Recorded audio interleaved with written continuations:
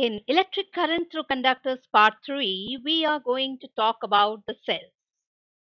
The types of cells are the primary cells and the secondary cells. The primary cells cannot be charged again, hence can be used only once. Example dry cells, alkaline cells, etc. The secondary cells can be charged again, hence can be reused. The chemical reaction in a secondary cell is reversible. Example, lead acid cells, fuel cells, solar cells, etc. Examples of primary cells are the Leclanche cell. In the Leclanche cell, we have a plastic or a glass bottle which is filled with ammonium chloride. And at the center, we are having a carbon rod which is packed with manganese dioxide.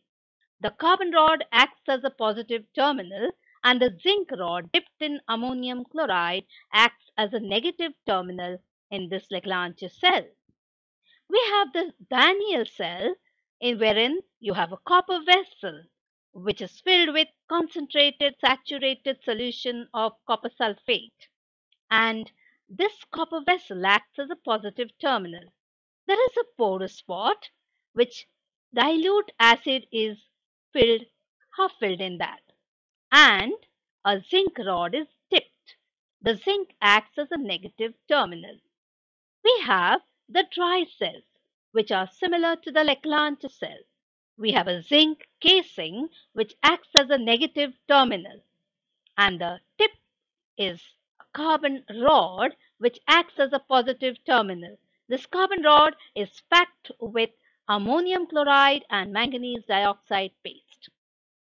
Examples of secondary cells are the lead acid cell, which is widely used in vehicles and places where heavy load current is required. Fuel cell vehicle, the FCVs, are electric vehicles. Hydrogen is also used as fuel and water is a byproduct. This avoids greenhouse gases produced by gasoline vehicles. Hence, it is eco-friendly. We also have the solar cells wherein the solar energy is converted to electrical energy. So these are the examples of secondary cells. The fuel cells are in trend now with the electric cars coming in. Let us talk about the electromotive force of a cell, the EMF.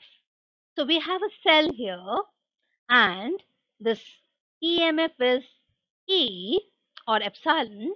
We have the potential difference V, current I. So we have I as a current, E is the EMF of the cell, V the potential difference, R is the internal resistance of the cell which is not visible. For any single cell, we have the EMF of the cell is equal to V plus I into R. So if we rearrange it, then we have V is equal to E minus IR. Now we take the cells in series.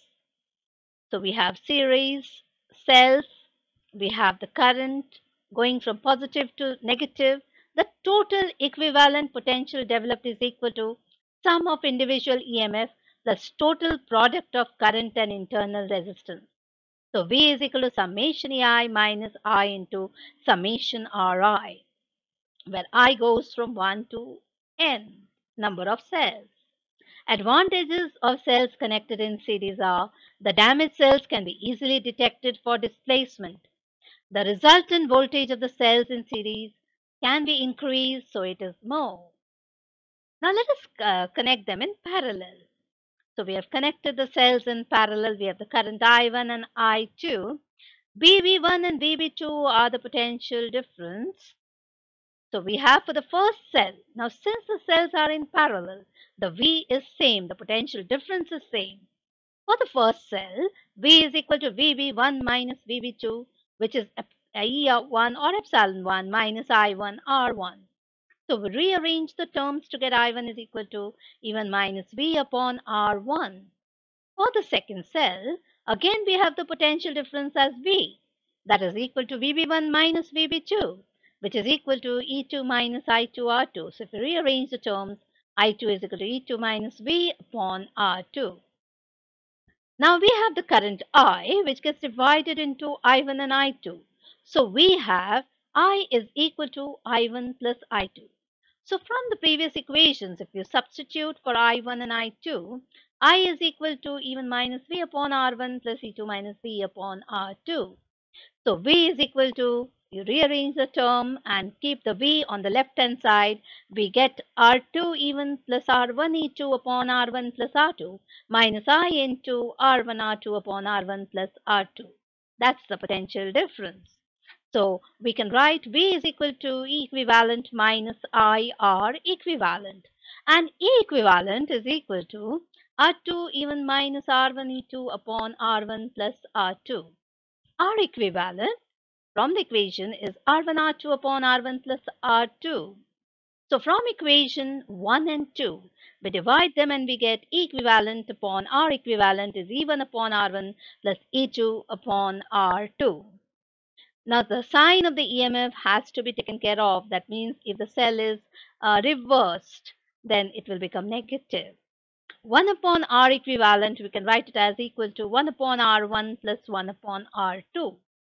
So now instead of two cells, if you have more than two cells, then you have 1 upon R equivalent is 1 upon R1 plus 1 upon R2 up to 1 upon Rn. And similarly, we have equivalent upon R equivalent as E1 by R1 plus E2 by R2 plus E3 by R3 up to even upon Rn.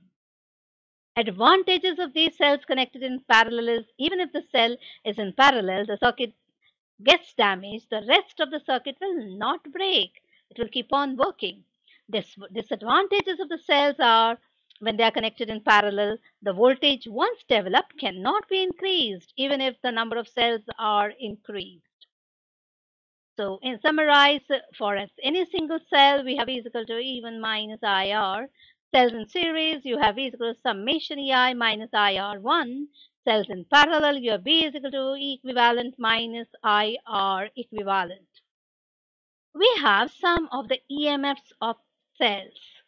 So we have Leclanche cell as 1.5 volts, Daniell cell 1.08 volts to 1.09 volts, dry cell 1.5 volt, lead accumulator 1.9 volt to 2.2 volts. There are many other cells also. So that's all for today. Thank you.